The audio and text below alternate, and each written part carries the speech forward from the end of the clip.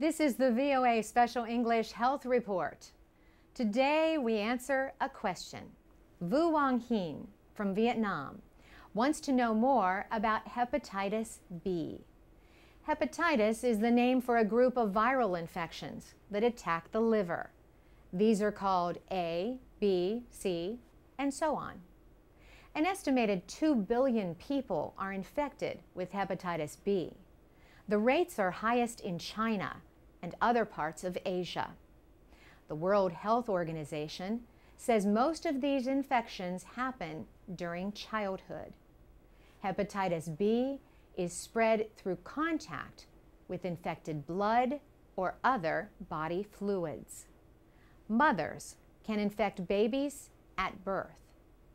Unsafe injections and sexual contact can also spread the virus. Experts say it can survive outside the body for at least a week. There are two forms of hepatitis B acute and chronic. Acute cases last for several weeks, although recovery can take months. Chronic cases can lead to death from cirrhosis or scarring of the liver and liver cancer. Yet people with long term liver infections can live for years and not even know they are infected. The ones most likely to develop chronic hepatitis B are young children. In the United States, public health experts recommend that Asian Americans get tested for chronic hepatitis B. This is because most Asian Americans came from countries with high rates of the disease, or their parents did. For acute hepatitis B, patients may receive care to replace lost fluids, but there are no treatments.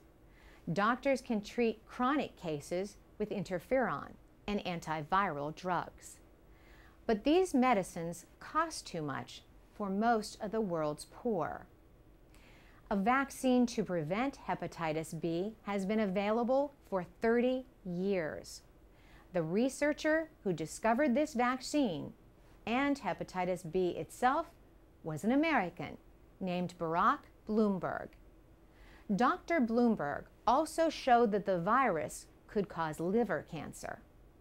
He and another researcher at the Fox Chase Cancer Center, Irving Millman, invented the vaccine in 1969. But Dr. Blumberg said it took some time to find a drug company willing to produce it. He first became interested in studying infectious disease when he volunteered in Suriname during his medical training. His discoveries with hepatitis B saved many lives and earned him a Nobel Prize in medicine. But he also had other interests, including the search for life in outer space. In the late 90s, Baruch Blumberg helped launch the Astrobiology Institute at NASA.